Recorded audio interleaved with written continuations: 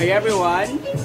So today mag-unbox tayo ng isang uh, gift from uh, one of my friends.